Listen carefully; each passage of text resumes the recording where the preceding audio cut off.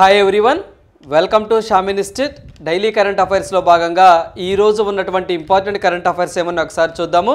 Right so first one చూసినట్లయితే PM Svanidhi boosted annual income of street vendors by twenty three thousands so మనకి PM Svanidhi scheme వల్ల so ఒక్కొక్క street vendor కండి. So ఎవరైతే మనకి చిన్న చితగా బిజినెస్ చేసే వాళ్ళు ఉంటారో వారికి యాన్యువల్ ఇన్కమ్ అనేది ఇరవై మూడు వేలు పెరిగింది అని చెప్పేసి ఒక స్టడీలో చెప్పడం జరిగిందండి. అంటే ఒక స్టడీ రిపోర్ట్ ద్వారా తెలియడం జరిగింది. సో మనకి పిఎం స్వానిధి స్కీమ్ అండి. మీ అందరికీ తెలిసిందే సెంట్రల్ గవర్నమెంట్ కోవిడ్ నైన్టీన్ సిచ్యువేషన్లో భాగంగా సో అప్పుడు కోవిడ్ నైన్టీన్ వచ్చినప్పుడు అండి చాలామంది ఉపాధి లేకుండా చాలామంది ఇబ్బంది పడ్డారండి. ఆ టైంలో అంటే రెండు వేల ఇరవయో సంవత్సరంలో ఈ స్కీమ్ని నరేంద్ర మోదీ గారు ప్రారంభించడం జరిగింది. ఫస్ట్ ఈ స్కీమ్ గురించి తెలుసుకుందామండి. ఈ స్కీమ్ గురించి తెలుసుకున్న తర్వాత అసలు ఇది ఎందుకు ఈరోజు మనకి కరెంట్ అఫైర్స్లో ఉన్నది అనే విషయాన్ని డిస్కస్ చేద్దాం. ఫస్ట్ మనము పిఎం స్వానిధి ఫుల్ ఫామ్ చూద్దామండి. PM Svani Svanidhi means so prime minister street vendors Atma Nirbhar Nidhi అని చెప్పేసి అంటామండి. సో మనకి స్వానిధి అనగానే ప్రైమ్ మినిస్టర్ స్ట్రీట్ వెండర్స్ ఆత్మ నిర్భర్ నిధి అని చెప్పేసి ఫుల్ ఫామ్ అంటాం. ట్వంటీ ట్వంటీలో రెండు వేల ఇరవైలో ఈ స్కీమ్ని ప్రారంభించడం జరిగింది. So this scheme is under ministry of అంటే ఏ మినిస్ట్రీ కింద ఈ స్కీమ్ పనిచేస్తుంది సార్ అంటే ministry of housing and urban affairs అని చెప్పేసి అంటామండి. ఈ మినిస్ట్రీ అనేది సో ఈ స్కీమ్ని ఇంప్లిమెంట్ చేస్తూ ఉంటుంది. Present ministry of housing and urban affairs ఎవరున్నారు సార్ అంటే హర్దీప్ సింగ్ పురి అనే వ్యక్తి ఉండడం జరిగింది.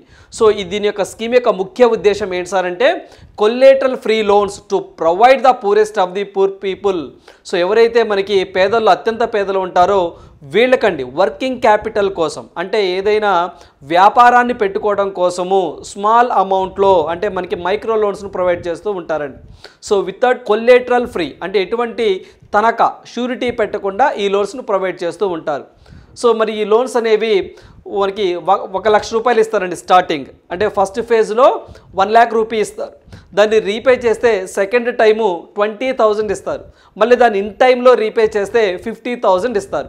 అలా మ్యాక్సిమం ఫిఫ్టీ థౌజండ్ రూపీస్ మాత్రమే పిఎం స్వానిధి స్కీమ్లో ఇస్తూ ఉంటారు. సో మరి రేట్ ఆఫ్ ఇంట్రెస్ట్ ఎంత ఉంటుందా అంటే ఉంటుంది sir seven percent rate of interest అనేది ఉంటుంది. సెవెన్ పర్సెంట్ అనేది రేట్ ఆఫ్ ఇంట్రెస్ట్ ఉంటుంది.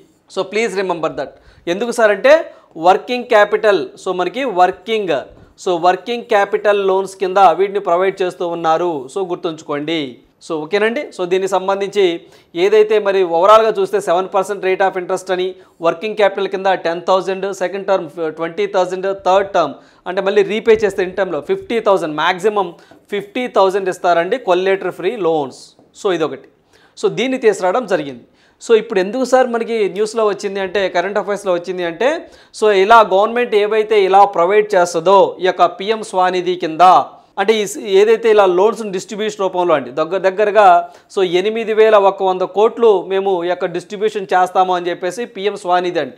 సో ఎప్పటి వరకు ఈ స్కీమ్ అమల్లో ఉంటుంది సార్ అంటే twenty twenty four December thirty first వాటి నాటికల్లా సో ఇంత ఖర్చు చేస్తాము అని చెప్పేసి కూడా ఫండింగ్ అలొకేషన్ చేయడం జరిగిందండి. సో ఇంత అమౌంట్ డిస్ట్రిబ్యూట్ చేస్తాము అని చెప్పేసి చెప్పడం జరిగింది. సో మరి ఇలా డిస్ట్రిబ్యూట్ చేయడం వల్ల ఒక్కొక్క స్ట్రీట్ వెండర్స్కి సంవత్సరానికి ఇన్కమ్ అనేది పెరిగిందంట. ఎంత పెరిగిందట?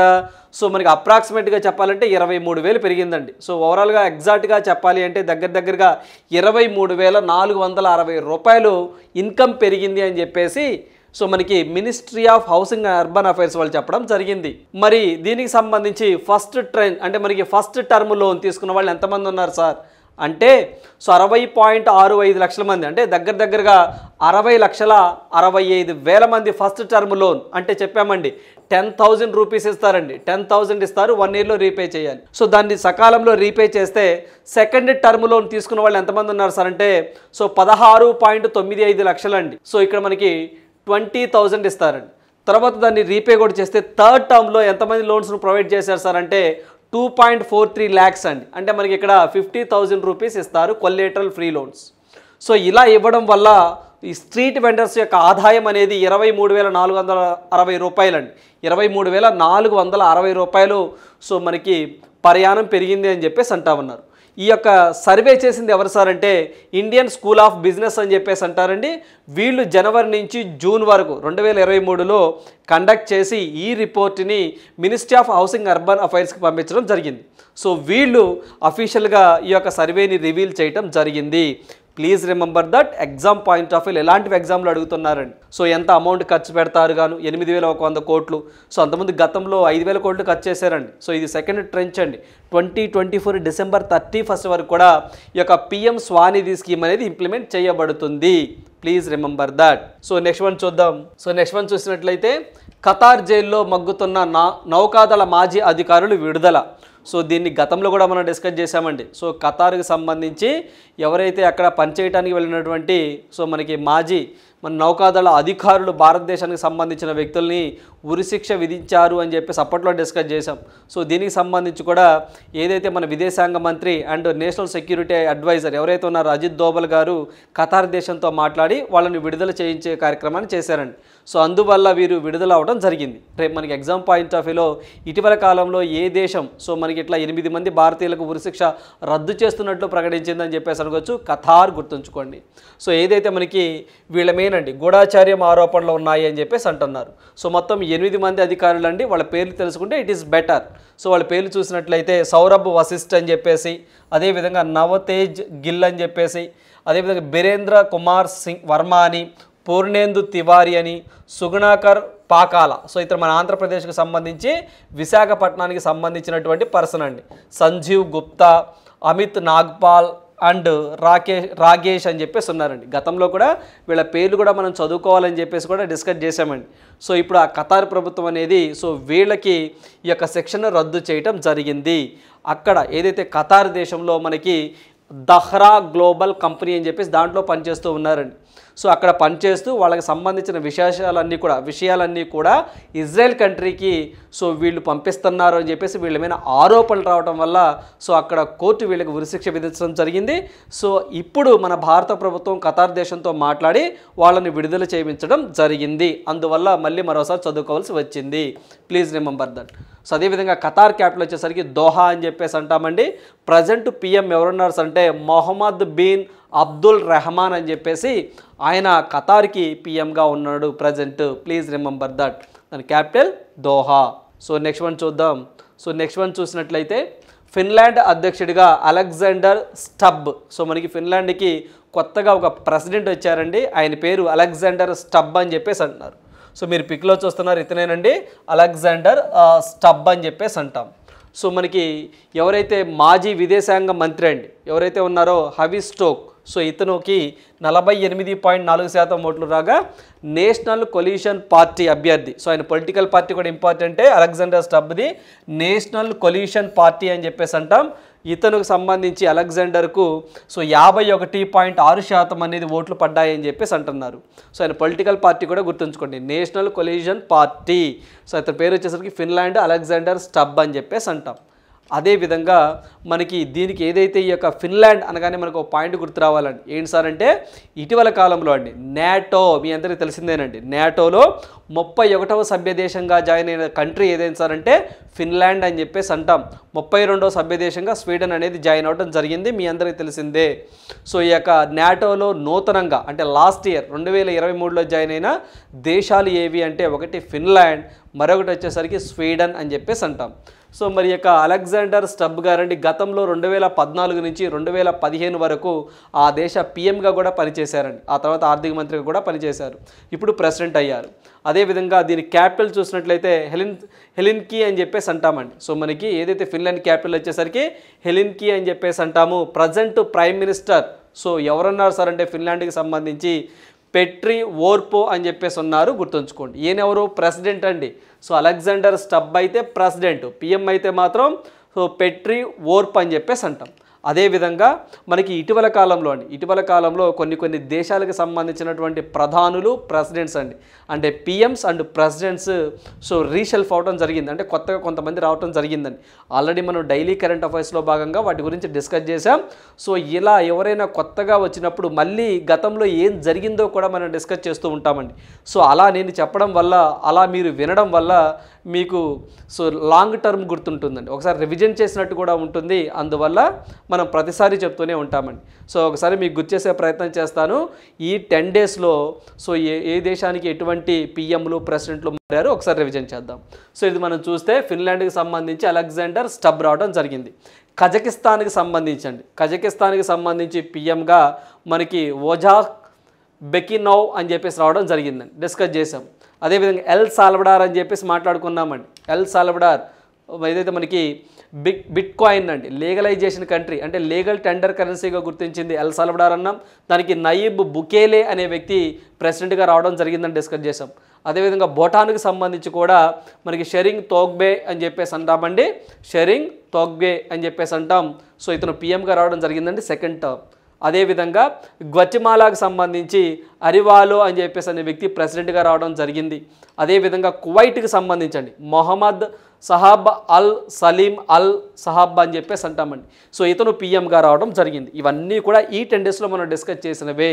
అదేవిధంగా గతంలో అంతకుముందు కూడా అండి అంత నెక్స్ట్ అంటే ప్రీవియస్ వీకెండ్ అంతకుముందు మనకి ఏదైతే ఫ్రాన్స్ ప్రధానమంత్రిగా ఏదైతే మనకున్న గాబ్రియల్ అట్టల్ గారు రావడం జరిగిందని డిస్కస్ చేసాం సో ఇలాంటివండి. ఏదైతే మనకి ఇటలీ పిఎం మొట్టమొదటి ఉమెన్ అని సో మనకి ఏదైతే పెరుగుకు సంబంధించి first first women president Dina Boluarte అని చెప్పేసి సో ఇలాంటివి కూడా ఉమెన్ పాయింట్ ఆఫ్ వ్యూలో కూడా మనం డిస్కస్ చేయడం జరిగిందండి. సో ఇటీవల కాలంలో వాళ్ళు అడుగుతున్న సందర్భాలు ఉన్నాయి. సో ఇటు సైడ్ మన కంట్రీస్ ఇచ్చి ఇటు ప్రెసిడెంట్లు లేదా పిఎంలు ఇచ్చి మ్యాచ్ ద ఫాలోయింగ్ అని ఇటీవల కాలంలో అడుగుతూ ఉన్నారు. సో వెరీ రీసెంట్గా ఎవరైనా వస్తే కనీసం ఒక వాళ్ళు ఒక పది పదిహేను మంది మనకి తెలిసి ఉండాలండి. అలా ఉంటే మనం ఆన్సర్ చేయడానికి పాసిబిలిటీ ఉంటుంది. అంటే ఎక్కువగా చదువుకుంటే అంటే మనకి ఎక్కువగా ఎంతమంది తెలిస్తే అంతమంది పేర్లు గుర్తుంచుకోండి సరిపోతుంది. ఓకేనండి? సో ఫిన్లాండ్ అనగానే నేటోలో ముప్పై ఒకటో సభ్యదేశంగా జాయిన్ అయింది అనే పాయింట్ కూడా ఇక్కడ మనం యాడ్ చేసుకొని చదువుకోవాలి. రైట్.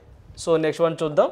సో నెక్స్ట్ వన్ చూసినట్లయితే ఎఫ్టీ గ్లోబల్ ఎంబీఏ ర్యాంకింగ్లో ఐఎస్బికి మెరుగైన స్థానం అని చెప్పేసి అంటున్నారండి. మనకి ఫినాన్షియల్ టైమ్స్ అని చెప్పేసి అంటాం. ఎఫ్టీ అంటే ఫినాన్షియల్ టైమ్స్ అంటాం. Global MBA ranking twenty twenty ఫోర్లో హైదరాబాద్లోని ఇండియన్ ఇన్స్టిట్యూట్ ఆఫ్ బిజినెస్ అని చెప్పేసి అంటామండి. So Indian school of business అంటామండి. సో బా బా హైదరాబాద్లోని సో మనకి భారతదేశంలోని హైదరాబాద్లోని ఇండియన్ స్కూల్ ఆఫ్ బిజినెస్ దాన్నే మన షార్ట్ ఫామ్లో ఐఎస్బి అని చెప్పేసి అంటాం. మన దేశంలో మొదటి స్థానంలో నిలిచిందండి ఈ యొక్క ఎంబీఏ ర్యాంకింగ్లో. నెక్స్ట్ ఆసియా దేశాలలో ఐదవ స్థానంలో నిలిచిందండి. సో మనకి ఐదవ స్థానంలో ఉంది. ప్రపంచ స్థాయిలో అయితే మాత్రం ముప్పై ఒకటవ స్థానంలో ఉంది అని చెప్పేసి అంటున్నారు. సో చాలా చాలా ఇంపార్టెంట్. ఈ మూడు ర్యాంకులు గుర్తుంచుకోండి. ఇండియన్ స్కూల్ ఆఫ్ బిజినెస్ అని షార్ట్ ఫామ్లో ఐఎస్బి అని చెప్పేసి అంటాం. ఇది మనకి హైదరాబాద్లో ఉంటుంది. ఈ ర్యాంకింగ్లో సో మన దేశంలో అయితే ఫస్ట్ ప్లేస్లో ఉంది. ఆసియా ఖండంలో అయితే మాత్రం ఐదవ స్థానంలో ఉంది. ప్రపంచవ్యాప్తంగా చూస్తే ముప్పై ఒకటో స్థానంలో ఉందండి. గతంలో అంటే లాస్ట్ ఇయర్ రెండు వేల ఇరవై మూడులో ప్రపంచవ్యాప్తంగా చూస్తే ముప్పై తొమ్మిదవ స్థానంలో ఉందండి. సో ఇప్పుడు ముప్పై ఒకటవ స్థానంలో ఉంది. సో ఆ క్లారిటీ గుర్తుంచుకోండి ఎగ్జామ్ పాయింట్ ఆఫ్ వ్యూలో చాలా చాలా ఇంపార్టెంట్ సో నెక్స్ట్ వన్ చూద్దాం. సో నెక్స్ట్ వన్ చూసినట్లయితే పెను ప్రమాదంలో వలస జాతులు అని చెప్పేసి అంటున్నారండి. సో పెను ప్రమాదంలో వలస జాతులు ఏదైతే మనకి యుఎన్ అంటే యునైటెడ్ నేషన్స్ అని చెప్పేసి అంటామండి. ఎన్విరాన్మెంటల్ ప్రోగ్రామ్ అని చెప్పేసి కూడా అంటాం. ఏదైతే ఈ యొక్క యూఎన్ కింద పనిచేసేటువంటి సో ఒక వింగ్ అండి. సో ఏంటి సార్ అది అంటే మనకి సిఎంఎస్ అని చెప్పేసి అంటామండి. సిఎంఎస్ అని చెప్పేసి అంటాం. వీరు ఒక రిపోర్ట్ని విడుదల చేయడం జరిగిందండి. ఏంటి సార్ ఆ రిపోర్ట్ అంటే సో మనకంటే దగ్గర దగ్గరగా ఏదైతే పక్షులు అండి అంటే మైగ్రేట్ పక్షులు కానివ్వండి కొన్ని కొన్ని చేపల ఫిషెస్ కానివ్వండి లేకపోతేనేమో కొన్ని తిమింగలాలు కానివ్వండి తాబిల్స్ కానివ్వండి ఇలాంటివండి. కొన్ని జాతులు అనేవి అంతరించిపోతున్నాయటండి. సో ఆ అంతరించిపోతున్న జాబితా లిస్ట్ ఏ విధంగా ఉంది అని యుఎన్ఓకి సంబంధించినటువంటి ఒక వింగ్ అనేది సో దాని పేరే మనకి సిఎంఎస్ అని చెప్పేసి అంటాం వాళ్ళు విడుదల చేయడం జరిగిందండి. సో చూడండి నలభై నాలుగు శాతం జాతుల సంఖ్య తగ్గిపోతుందని చెప్పేసి ఐక్యరాజ్య సమితి తాజాగా ఆందోళన వ్యక్తం చేయడం జరిగింది. అనేక పక్షులు సముద్ర తాబేళ్ళు తిమింగళాలు సొరచేపలు చేపల జాతులు వివిధ ఋతువుల్లో భిన్న ప్రాంతాలకు తరలిపోతాయని ఏదైతే నివాస నష్టం కానివ్వండి అక్రమ వేట కాలుష్యము వాతావరణ ముప్పు ఎదుర్కొంటున్నాయని చెప్పేసి ఈ నివేదిక చెప్పడం జరిగిందండి. సో ఇవి చూస్తే మీరు పిక్లో చూస్తున్నట్టు పక్షులు పక్షులండి. సో ఇవి చూసినట్లయితే ఈ పక్షులు అనేవి ఆహారం కోసం వాటి యొక్క ఆవాస ప్రాంతాల నుంచి మరో ప్రాంతానికి వెళ్తాయండి. వెళ్ళి అక్కడ ఆహారాన్ని సేకరిస్తాయండి. సో అక్కడే కొన్నాళ్ళు ఉండి మళ్ళీ వాటికి ఆవాసాలకు వస్తాయండి. ఆ వచ్చే క్రమంలో ఆ ఆవాసాలు అనేవి సో వాతావరణ మార్పుల వల్ల కానివ్వండి హ్యూమన్ యాక్టివిటీస్ వల్ల కానివ్వండి సో అవి నష్టం జరుగుతుందంటండి. సో అందువల్ల ఆ నష్టం అనేది వాటి యొక్క జీవితాల మీద అంటే వాటి యొక్క ప్రయాణంలో బాగా ఇబ్బంది పడుతున్నాయని సో అవి అంతరించిపోతున్న ద- దశలో ఉన్నాయని చెప్పేసి మనకి యుఎన్ఓ వరల్డ్ ఒక రిపోర్ట్ ఇవ్వడం జరిగింది. సో దీనికి సంబంధించి ఇంకా మనం చూసినట్లయితే ఇందులో మనం మాట్లాడుకున్నామండి సిఎంఎస్ అని చెప్పేసి అంటాం. అంటే convention on the migratory spaces అని చెప్పేసి అంటామండి. సో మరి ఇది ఒక వింగ్ అండి. యుఎన్ఓ అనుబంధంగా పనిచేస్తూ ఉంటుంది. దీన్ని పంతొమ్మిది వందల డెబ్బై తొమ్మిదిలో జర్మనీ బొన్ దగ్గర జర్మనీ బొన్ అనే ఒక కాన్ఫరెన్స్లో భాగంగా ఈ యొక్క వ్యవస్థను క్రియేట్ చేయడం జరిగింది. ఈ యొక్క సిఎంఎస్ ఎప్పటి నుంచి ఫోర్స్లోకి వచ్చింది సార్ అంటే పంతొమ్మిది వందల ఎనభై మూడు నవంబర్ ఒకటి నుంచి ఫోర్స్లోకి రావడం జరిగిందండి. దీని యొక్క ముఖ్య ఉద్దేశం ఏవైతే అంతరించిపోతున్న వలస జాతులు ఉంటాయో వాటికి సంబంధించిన నష్ట నివారణ మార్గాలను సో ఫైండ్ అవుట్ చేసి వాటిని తగ్గించాలండి. వాటి యొక్క వెల్ఫేర్ కోసం ఇవి కొన్ని గైడ్లైన్స్ క్రియేట్ చేస్తూ ఉంటుంది. సో ఇలా ఈ యొక్క వ్యవస్థ అండి. So convention on the migratory species అని చెప్పేసి అంటాం. వీరు అనేక పక్షులు సముద్ర తాబేళ్ళు తిమింగళాలు ఇలాంటివి అంతరించిపోతున్నాయి. సో ఇవి అంతరించకుండా ఉండాలంటే వివిధ దేశాలు ఎటువంటి చర్యలు తీసుకోవాలి అనే దాని మీద సమావేశాలు నిర్వహిస్తూ ఉంటుంది. సో దీనికి సంబంధించి మొత్తం దీంట్లో నూట ముప్పై సభ్య దేశాలు అండ్ యూరోపియన్ యూనియన్ కూడా వన్ ఆఫ్ ద మెంబర్స్గా ఉంది. మన ఇండియా కూడా ఒక దేశంగా ఉందండి. నూట ముప్పై సభ్య దేశాలలో ఇండియా కూడా one of the members. Please remember that. So ఇది జర్మనీ బన్లో ఇది ఇది ఇది ఇది లొకేట్ అయి ఉంటుందండి ఏంటది CMS please remember that. So వీళ్ళు రిపోర్టు ప్రకారము యుఎన్ఓ వాళ్ళు సో ఈ యొక్క డేటాని చెప్పడం జరిగింది. గుర్తుంచుకోండి దగ్గర దగ్గరగా అప్రాక్సిమేట్గా తొంభై శాతం పైగా చేపల జాతులు అంతరించిపోయే ప్రమాదంలో ఉందని కూడా వీళ్ళు చెప్పడం జరిగింది. రైట్ సో నెక్స్ట్ వన్ చూద్దామండి. సో నెక్స్ట్ వన్ చూసినట్లయితే headquarters of confederation of international tea smallholders to shift from China to India. ఏదైతే మనకి ఐ సిఐటిఎస్ అని చెప్పేసి అంటామండి. సో మనకి ఫుల్ ఫామ్ చూస్తే confederation of international tea smallholders అని చెప్పేసి ఇది ఒక వింగ్ అండి. సో దీనిని గతంలో ఇది మనకి చైనాలో ఉండేది. సో చైనా నుంచి ఇండియాకి షిఫ్ట్ చేయడం జరుగుతుంది అని చెప్పి చెప్తున్నారండి. సో ఎక్కడి నుంచి అండి? ఎక్కడికండి? సో చైనా నుంచి ఇండియాకండి సో ఇండియాకి షిఫ్ట్ చేస్తాము అని చెప్పేసి అంటున్నారు. ఏంది సార్ ఇది? ఏంటి సార్ ఇది అంటే the decision was taken during the twenty fifth session of FAO food and agriculture organisation intergovernmental group on tea very very important అండి. సో మనకి ఏదైతే ఐజీజీ అంటాం intergovernmental group on tea అని చెప్పేసి అంటామండి.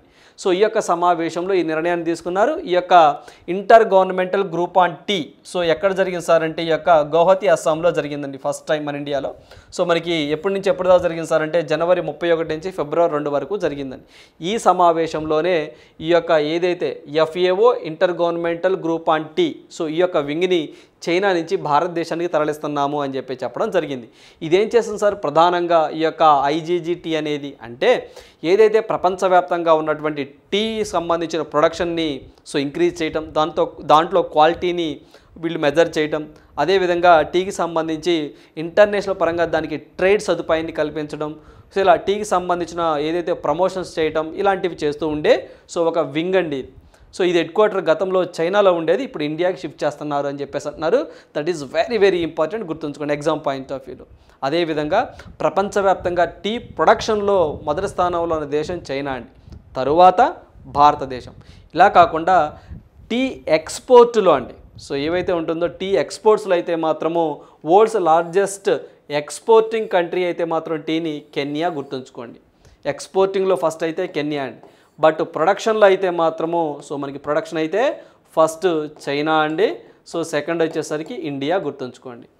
అయితే మనకి ఏదైతే రెండు వేల ఇరవై నాలుగు నుంచి రెండు వేల ఇరవై ఆరు మధ్య సో మనకి ఈ యొక్క ఏదైతే మనకి ఐజీజీ ఉంటుందో దీనికి చైర్మన్షిప్ అంటే ఎవరు అధ్యక్షతన ఇలా ఈ సమావేశాలు నిర్వహిస్తారు సార్ అంటే ఇండియా అధ్యక్షతన.